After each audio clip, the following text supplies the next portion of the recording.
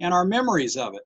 I, I want to start out by having a shout out to one of my neighbors, Mrs. Morey.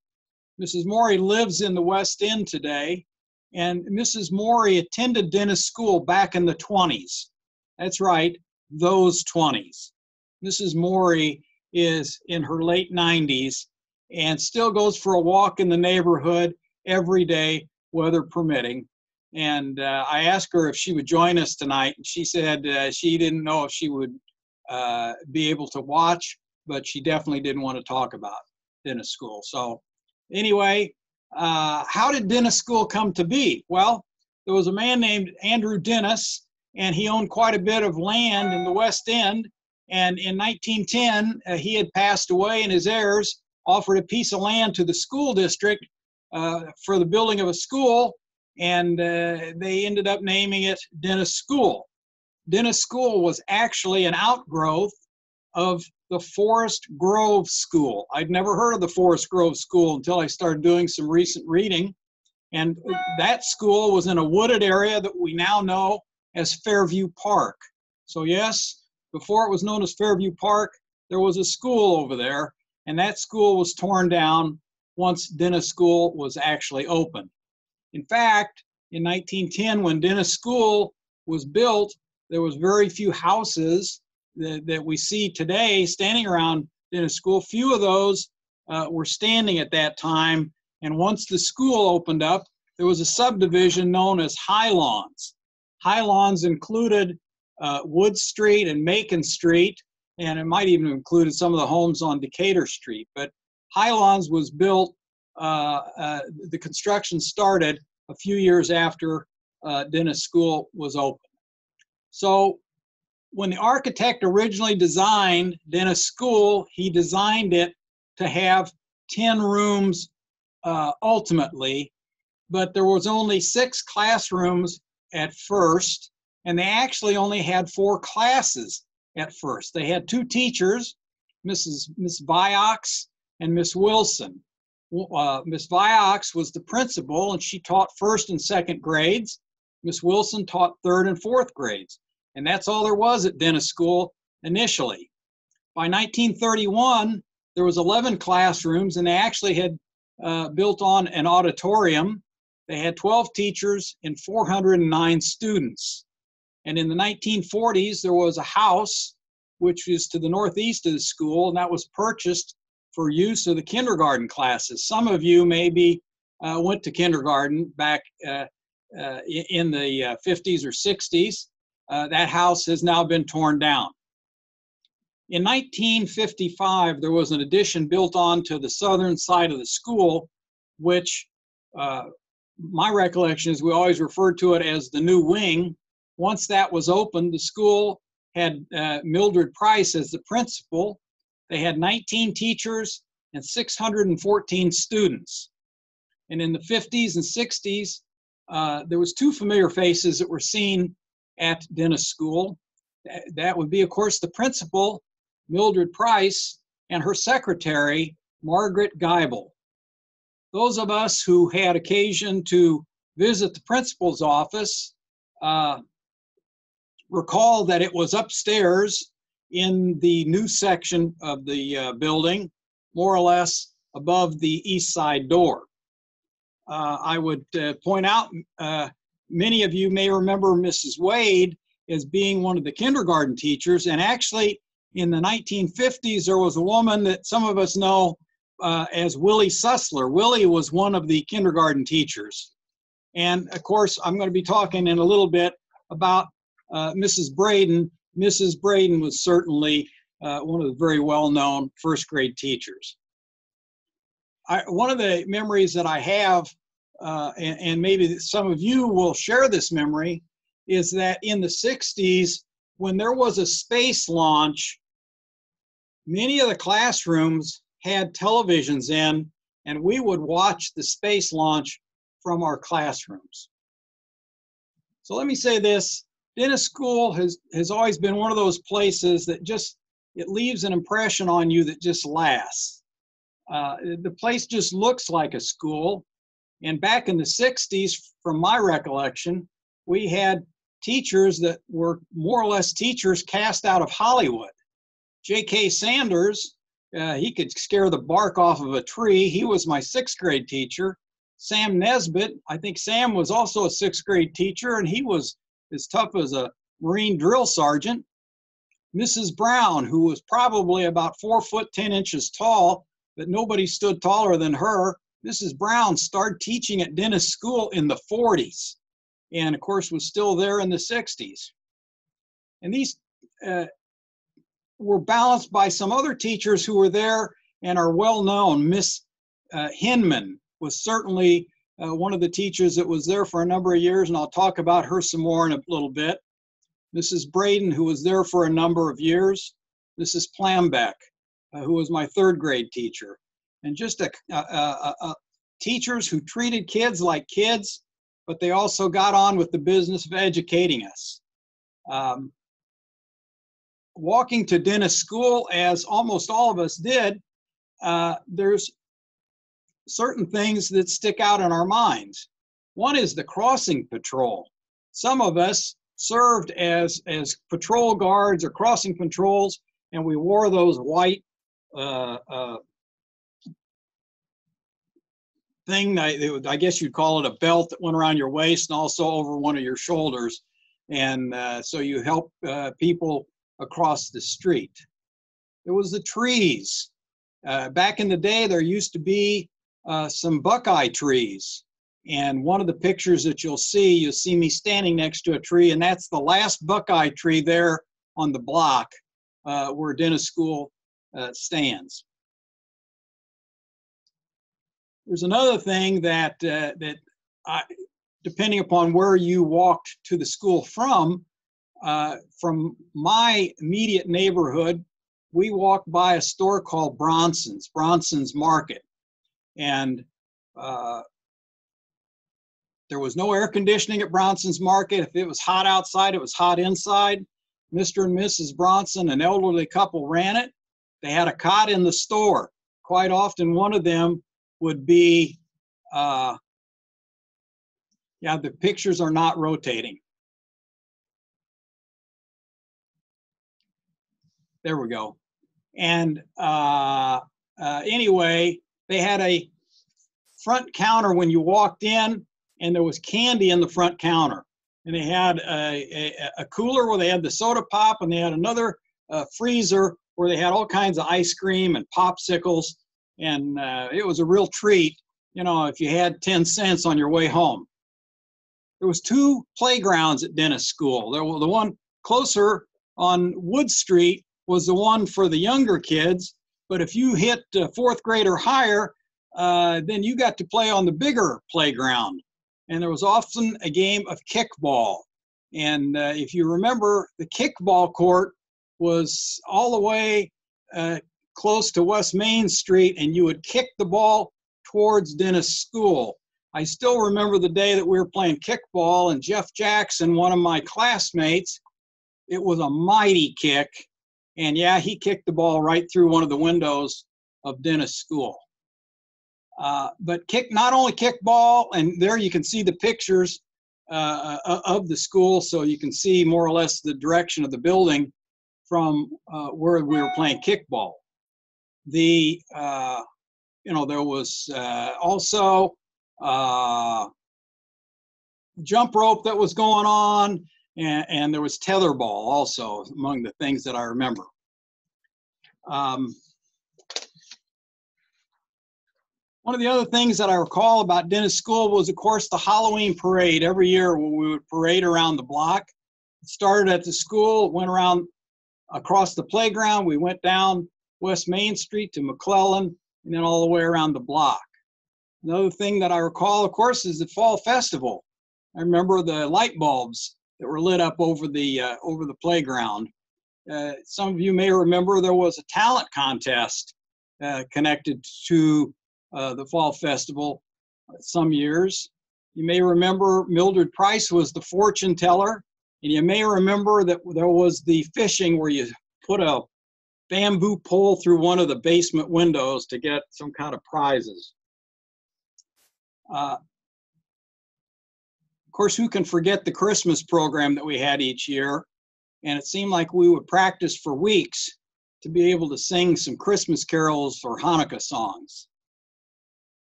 One of the things that I recall extremely well was the day that JFK uh, was assassinated uh, as the president. And at that time, I was in sixth grade. I was in Mr. Sanders' class.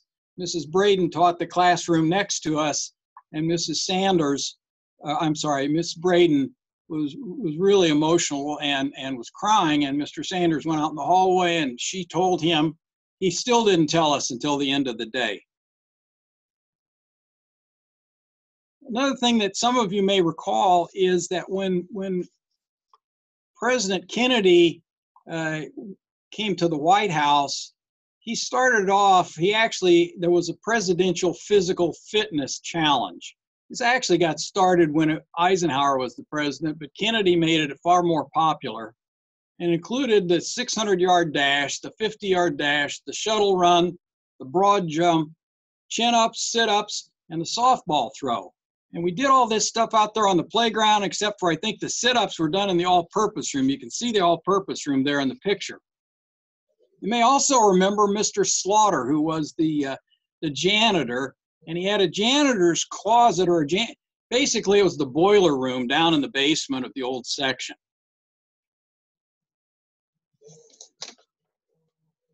The uh, Mildred Price, as I say, was the principal, and she retired in the mid 60s. And when she retired, uh, she received a life membership to the Congress of Parents and Teachers. There was a big article in the Decatur paper about that. And it was presented to her by Mrs. Nisbet and uh, Mrs. A.G. Weber III. And she was followed as the principal by a man named Roy Schilling, who served as the principal until 1971. Now, among the teachers uh, was uh, Mr. Sanders. Mr. Sanders was old school. Uh, he drove a very old car. I can't tell you how old the car was. I just remember it was a very old car. Mr. Sanders always dressed uh, like he was a businessman. Uh, he came to the school in 1949 and he taught at Dennis School until 1973. There was always a grimness about Mr. Sanders. He taught you school like it was like it was a job, and he was a little bit intimidating, I might say. In 1951, there was an article with photographs in the newspaper about Mr. Sanders' class, Mr. Sanders was surprised to learn that some of his some of the people in his class didn't have any idea how to fly a kite. So Mr. Sanders took it upon himself to teach his class how to make their own kite. So everyone had to make their own kite. And then they all went out to uh, Fairview Park to fly their kites. And of course, the newspaper was there taking pictures, and, and there was quite an article about the whole thing. Also, in 1955, there was a big article in the newspaper about a sixth grade class from Dennis School that went to the courthouse. And they got to tour the courthouse, but not only that, but they got to hold trials in one of the courtrooms. And among the pictures, there's a picture of one of the sixth graders whose name is John Granius. And young John Granius is sitting up there pretending to be the judge because his dad was a judge at that time. Well, it so happened that in the 90s, John Granius actually became a judge here in Macon County. So that picture kind of foretold something about that. One of the principals that followed Mildred Price is a man by the name of Bill Cogan. Bill Cogan was the principal at Dennis School from starting in 1971 and Mr. Cogan didn't retire until 1997. Uh, uh, Mr. Cogan is always going to be remembered as a fixture at the school.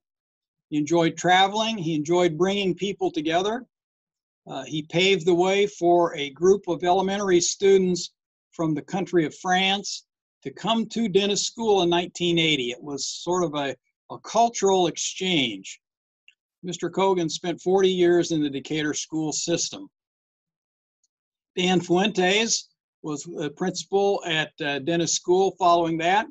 Matt Andrews uh, was uh, a principal at the uh, at Dennis School, and also following him, Mr. Lynch uh, and his assistant principal, Mr. Creighton, uh, are there at Dennis School at the present time.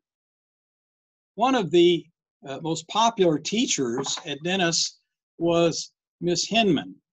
Miss Hinman, I believe, taught third grade, and during the 1974-75 school year, her class studied the monarch butterfly, and they decided to write to the state legislators to ask them to make it the state insect. The class even made trips to the state capitol to make presentations to the lawmakers.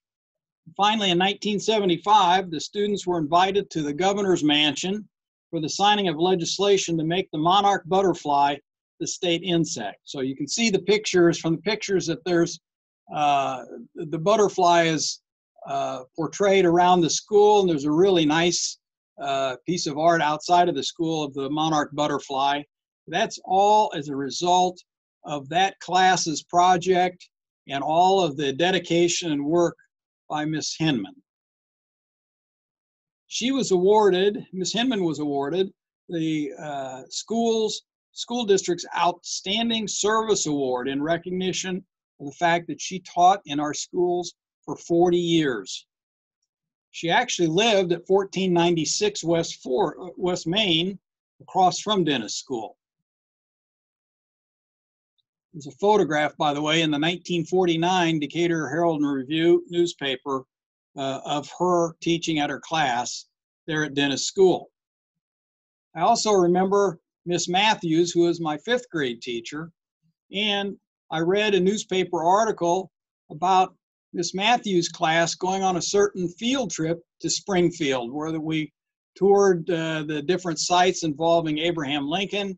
We toured the state capitol and different sites around. Uh, anyway, it was reported in the newspaper, and I actually remember going on that field trip. There's a, a number of other projects that uh, uh occurred uh, there at the school, one of the things I recall very well from my classes is that sometimes we would uh, work on projects where we had to go to the Decatur Public Library and do some research, and then we'd have to find uh, newspapers or we'd have to find magazines and we'd cut pictures out of those or cut articles out. We put them into these binders and you turn the binder into your teacher and, and you got graded on that. In 1973, uh, Mrs. Braden, Elizabeth Braden, was uh, had, had been a teacher there at Dennis School for a number of years and continued even beyond that. But in 1973, Mrs. Ms. Braden was voted the runner-up for the Teacher of the Year award for the entire state of Illinois. That's that's how well she was considered. And she had been teaching first and second grade at Dennis School at that time for 28 years. Mrs. Braden unfortunately just passed away in September of this year. She was 100 years old, still living in Decatur. One of the people that I spoke with in preparation for this was Linda Burnham. She, uh, Mrs. Burnham taught at Dennis School for 30 years, and she only retired last year. Uh, she is a historian of sorts, about Dennis School and, and was certainly shared a, a number of stories with me about it.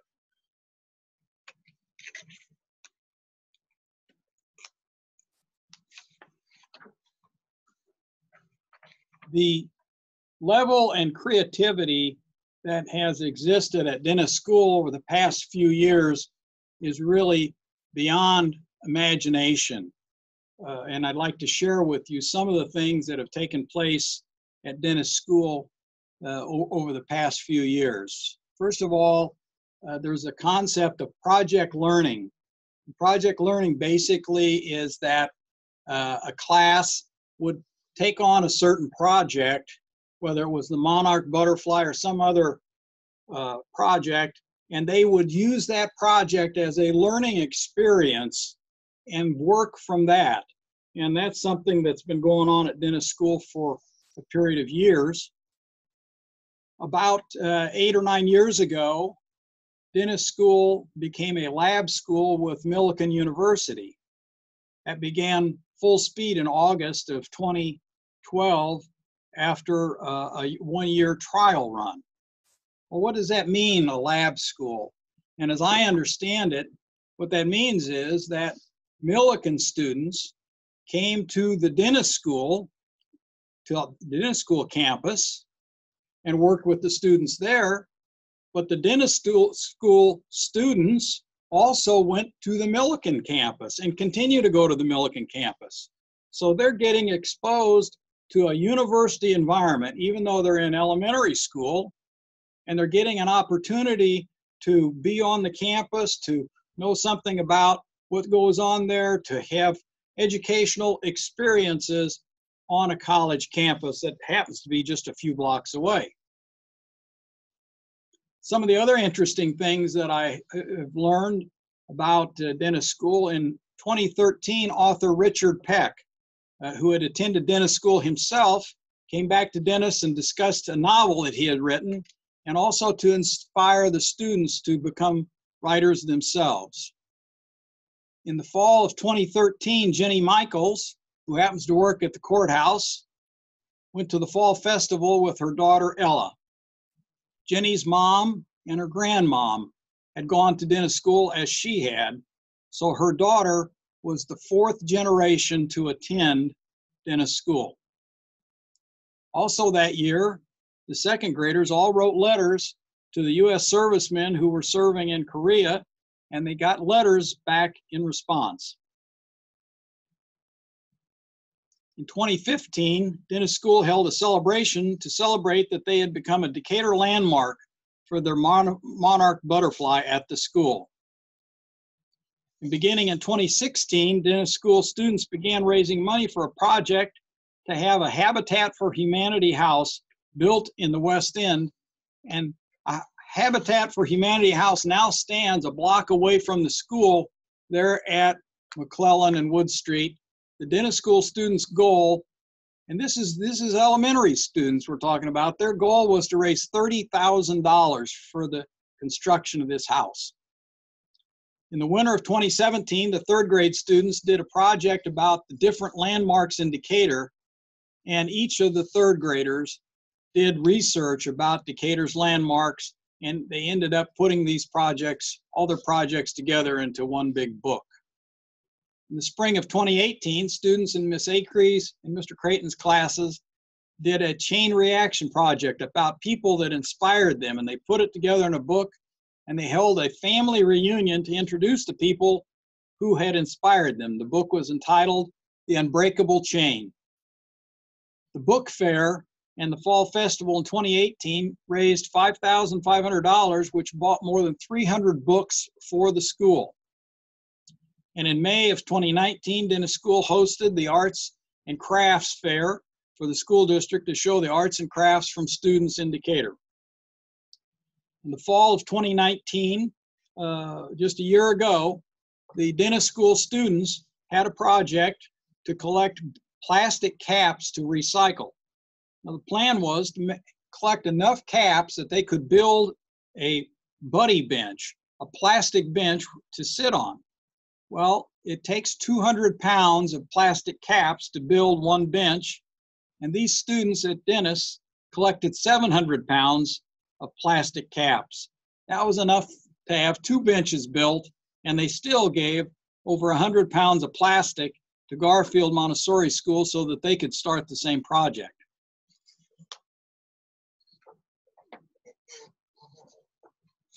Dennis School presently has two campuses. They, they did this a year ago so that the Dennis School campus and there's also the uh, Mary W. French campus, and they're both known as Dennis School now. So that Dennis School now has two separate campuses so that they have one campus for certain grades and they have the other campus for other grades. Another thing that I remember, and I'm just about ready to close off my, my section of it, was the windows at Dennis School. You know, as you walk through Dennis School, you become aware of the fact that there's actually two old sections of the school and two new sections of the school today. In the old sections, there was one section, that was the original section, and then they added on to that uh, to the west. And then the new sections, there was the original new section built in 1955, and then they added on to that later, which is where uh, the library was. The library has now been turned into the uh, uh, office. But the thing about the school that I remember very, very well are the windows, whether you're in the old section or the new section. There were great big windows, and you were always very aware of the weather that was going on outside, whether it was raining or sunny, whether it was snowy or the leaves were falling. You were very much aware of what the weather was outside, and it really kind of affected the mood inside the classroom. In summation, I would say this Dennis School, you know, I think of it as a building, but I also think of all of the great teachers and all the great people who were there. I also think of all of uh, all of us who were students there, uh, and and many of us left town, many of us stayed in town, but all of us we consider ourselves people who are alumni of Dennis School. So thank you to everybody that helped me prepare, especially thank you to uh, Chris Barnett, who got me into the school so that we could take these pictures. That's Chris sitting there at the piano. And uh, maybe some people have some comments or maybe people have some questions.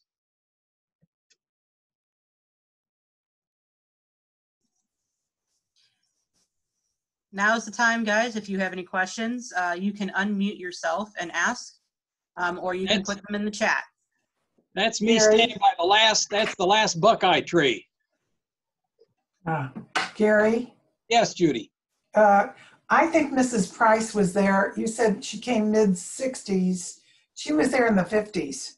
No, no, she left in the mid 60s. Oh, okay, I got you. Left in the Okay, 60s, yeah.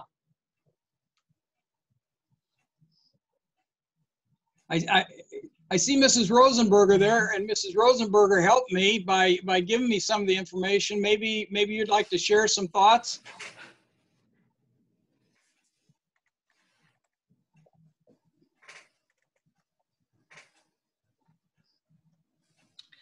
Um, One of the things that uh, Mr. Kogan did when I was there during uh, the 70s and 80s was to um, go through the Decatur Area Arts Council for grants to get artists in residence to come Mhm. and spend a week in our building.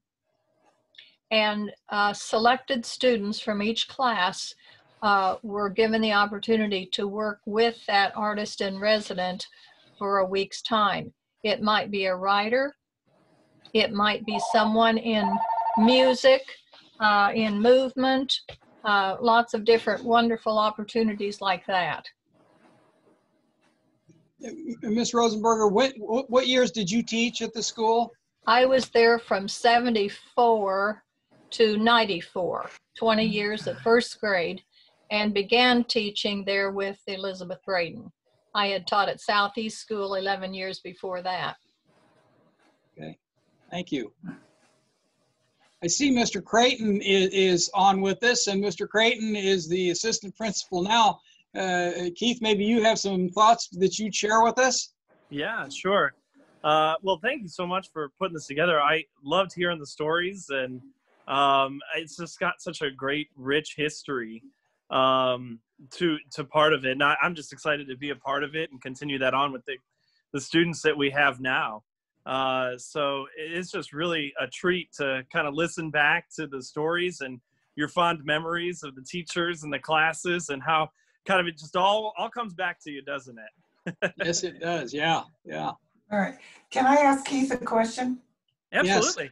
Yeah, I'm, I'm a former teacher as well, uh, but I substitute taught for like 25 years. But God bless you. quite understood. Would you explain to us quickly, as quickly as you can, the Montessori, uh, what that is about? Because I hear it tossed around, and I don't Sure. background in that, but I understand it's like the children pick the stimulation or what they want to learn about, but it's more than that. I know. Yeah, um, uh, Garfield is the school in our district right now that does a Montessori program. Um, Uh-huh. So I only know a very little bit about it, but it is, um, you know, a different kind of philosophy about students just sort of um, uh, the discovery of education rather than kind of sitting there and just getting the information kind of put on you is is sort of how I understand it. But I'm not really an expert on the Montessori Yeah. part. That's kind of the way I got it too. Yeah, yeah. We we do something similar, and and he talked about it a little bit. It's called project based learning, um, and that's where uh, the students are working to solve a, a real critical problem.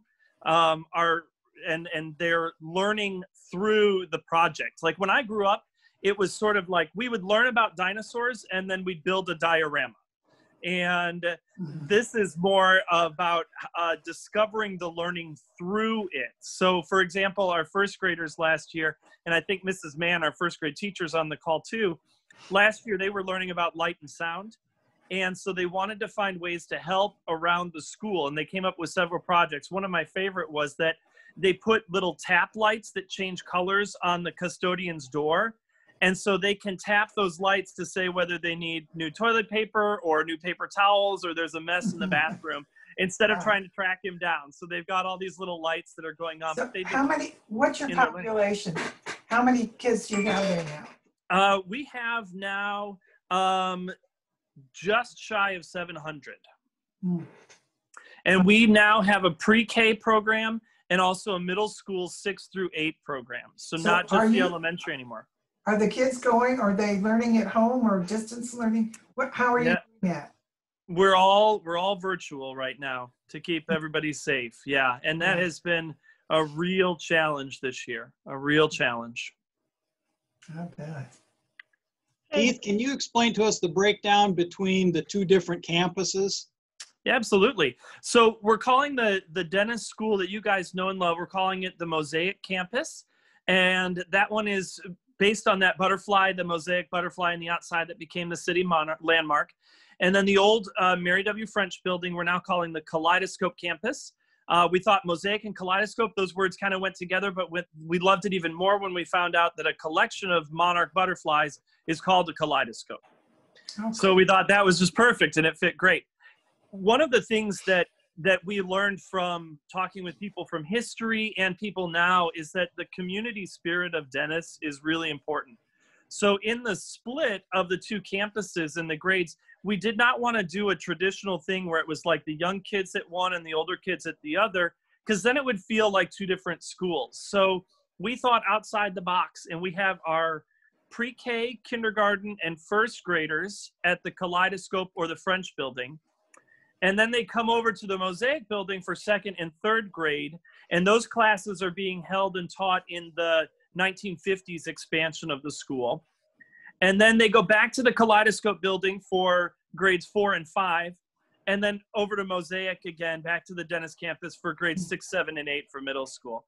So the idea is that they they can partner younger students and older students on both campuses and it won't ever feel like oh that's the school i used to go to they feel comfortable and at home on both of the campuses Okay. Do you have an accelerated program there? um, we offer uh, we we don't have like a, an actual accelerated program but we do offer now um, high school credit algebra for eighth grade students uh, so students who are excelling in math can take high school level credit algebra that goes on their high school transcripts Okay, so if you're teaching fourth grade and you've got a kid who's able to do sixth grade math or seventh, do you boot them up to that classroom? Um, most mostly we do um, just try and do that within the classroom with different Mhm. small groups. Um, but we have had our our teachers are so creative and innovative that they've done things where they've had exchanges before with students uh, to get different levels there for sure. Mhm. Okay, thank you. Yeah. Keith, I wanted to point out that, uh, that one of the teachers there at Dennis School now, uh, Jason Wax, his uh, sister Amy, and his dad Randy Wax are both online with us tonight. Oh, we are so lucky to have him with us. Hi, it's good to see you guys. Uh, we we are so lucky to have him at part. He's really helping us out, and and uh, we we are on a different small team together, our project-based learning team. So uh, he and I have gotten to know each other through that. So Okay, could you tell us about the plot of land that's by Fairview? It looks like it's, I don't know, an old house used to be there, was torn down. And is that, a You talking about the garden? yes, I think so. Okay, yeah. Yeah, so I believe um, I think Millikin owns the land, and when we became part of a partnership, there was a real interest in having a learning garden uh, for our students to learn and work on, to plant, to learn about nature and connect on that. And students have also were interested in building a stage out there, so there's a little stage area. Uh, in the summers, we host a uh, farmers market. Um, and we often had bands come and play on the stage and people would come out and the community would sell uh, items and things like that. And, and our 4-h club uh, would would harvest some things from our own garden there that the kids would do. So uh, we really try and keep that as a learning garden. Uh, interesting if you go out there there is uh, there's a little tree. It's quite young still. It's only about two or three years since we planted it. Uh, and it's not far from the garden beds but it's not the trees that are along the fence line anyway, this tree is um, a seedling from one of the original Johnny Appleseed trees. Uh, and through a series of things, we were able to secure one of those trees, and so now we've got that planted in our garden. So it's it's part of that heritage too. do, do people need to live within that district? You can't apply to the school, correct? That's correct. Yeah, that was a big part of it. And that's part of the reason why we had to go to a dual campus. We were growing so big so quickly that even folks who moved in across the street couldn't get into the school because there was no room. So, by going to a dual campus, we were able to expand all of our classes and programs and expand uh, the idea of our community even larger now to that the whole like wood corridor now. Cool. Uh, Gary, looks like- mm, Sorry, go ahead, Melissa. Gary, I don't know if you caught on, um, but in the chat, um, I think it's Cassie is a current first grade teacher at Dennis School. I don't know. She's muted. I don't know if she wants to chime in, but she posted in the chat that she was currently a first grade teacher. Cassie, if you can, join us. Yes. Can you Hello, sorry, Hi. kind of crazy. Yeah, I teach first grade. Um, I'm at the Kaleidoscope campus now. I've been with Dennis. I actually student taught at Dennis. I went to Millikin to get my education degree. Um, student taught at Dennis, loved it so much. I ended up coming there, and so I teach first grade now. How many students? Um, currently, I think I'm running a 23. Our cap is 24, and I typically run around 22 to 23. Okay. Thank you. Uh, it looks like Susan Engel has her hand up. Um, Susan, if you want to unmute yourself and ask your question, you totally can.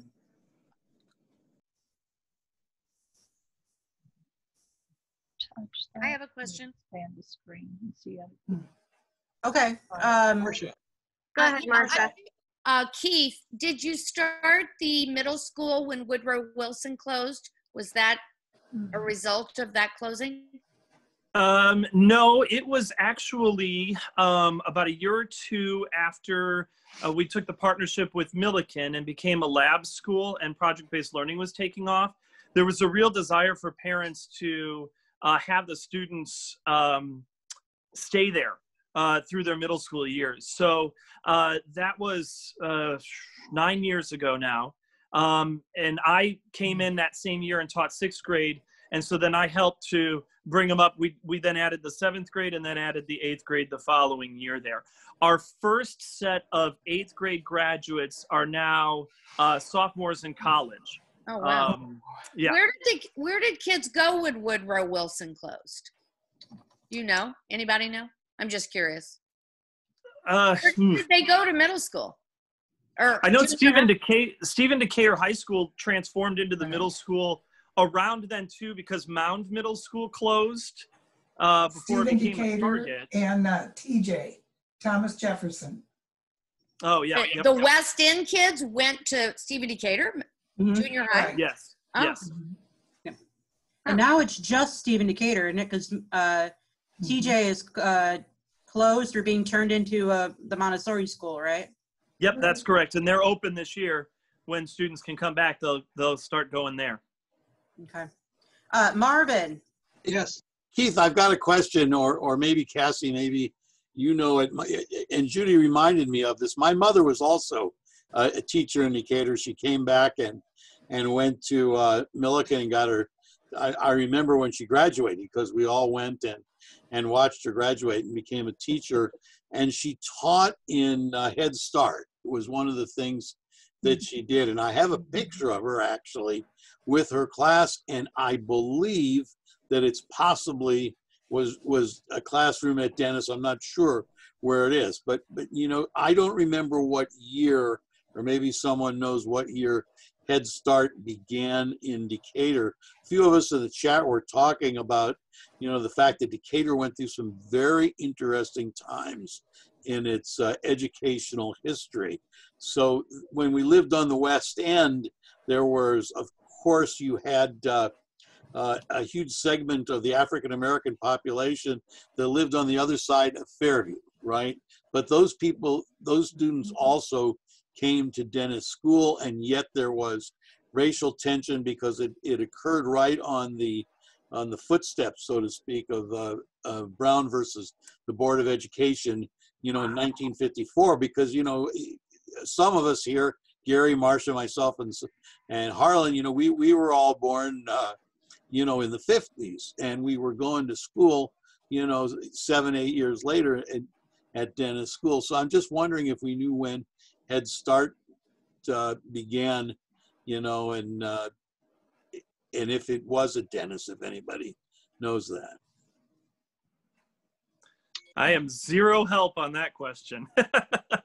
You know, uh, Marvin, back in, in the in the 50s and I think in the 60s, Oakland School, which was just uh, I don't know, maybe four blocks to the east, existed, and it seemed like maybe that the that the railroad tracks was like the dividing line between Dennis School and Oakland. I don't know, is, uh, uh, Keith, is that still the case?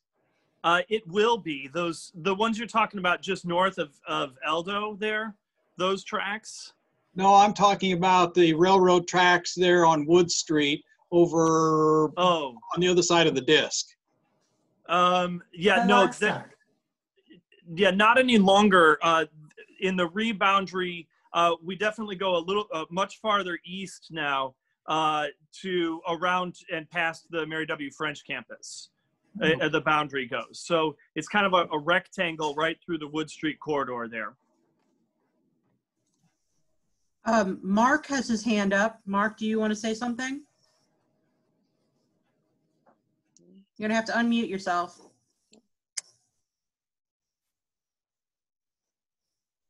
Thank you very much.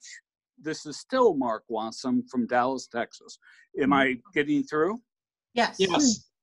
Okay, I'm a Dennis school guy, uh, kindergarten through. Oops, sorry, sorry. Sorry?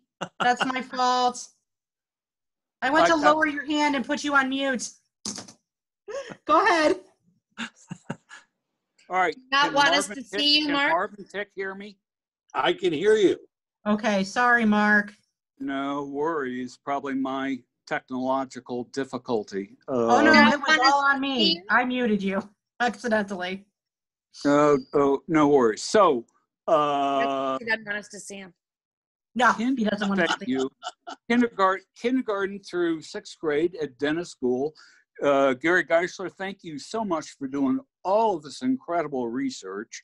Yeah. And I could comment on 12 different subjects that have been broached this evening, but one of which that has not been taken up uh, to my friend Gary Geisler and my friend Marvin Tick is I think Decatur, Illinois did a job of not only integrating, but I mean coalescing between Jews and Christians within the city of Da- uh, Decatur.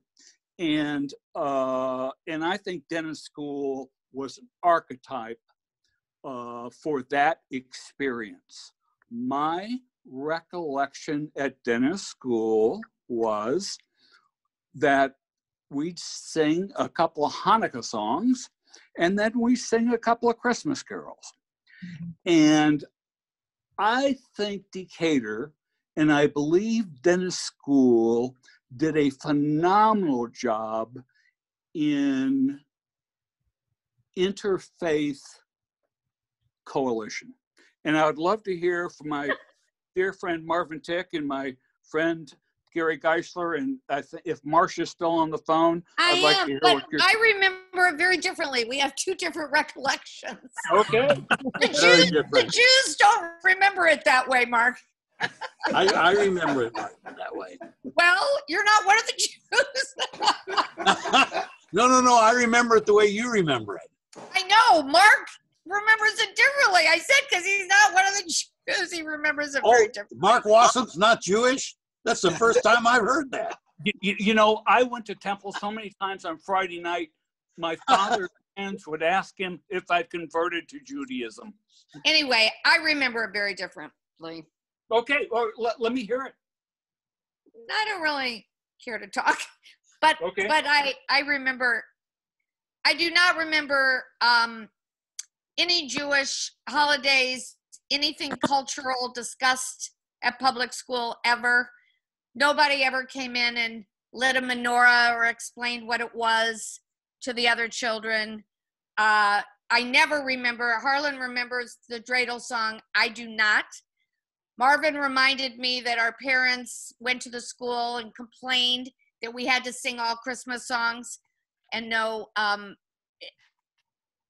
oh, It- Oh. it- it- it- anyway, so whatever. I, we remember it differently. Um, Marvin, do you remember it differently? Marcia and I have the, the, the same recollection, and it, um, it, and it, it, it, it's really not a commentary on, on, on people not getting along. It was a, a commentary on, um, the fact that, uh, there were a group of people that just, uh, did not believe that religion belonged in, in the, uh, in the public schools and were pretty, you know, my dad who got out of Nazi Germany, that was a, a very important uh, deal to him, and there was no no more a patriot that I know, and he was decorated uh, in fighting for in World War II in the American forces. Um, but you know, so it, it I, I don't think it's a, a commentary on on people not getting along. As- You know, No, I have no. great I wasn't. In, I d- wasn't trying to intimate that there was anti-Semitism. I don't think there were enough of us that they felt like it was important enough. That's all. Not Yeah, that. well, and and something changed, and and it may have been you all's parents going in and raising hell, but I absolutely, literally remember.